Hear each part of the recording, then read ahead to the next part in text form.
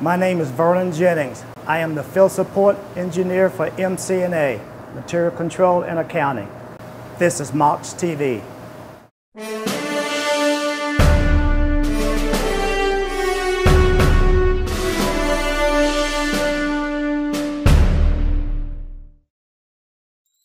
The topic for today is tank calibration.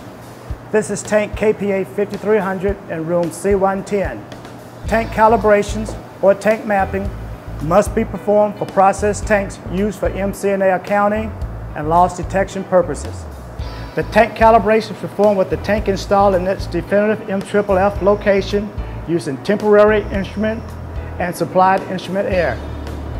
At a minimum, each tank will require at least two approved calibration runs.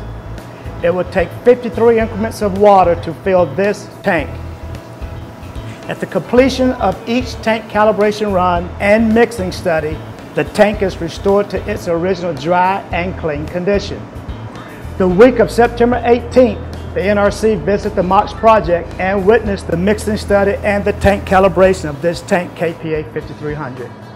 I would also like to add that Michelle Mendoza and the Startup Lab Group have worked long, tireless hours to ensure that these tank calibrations and the mixing studies meet all the assessment criteria requirements.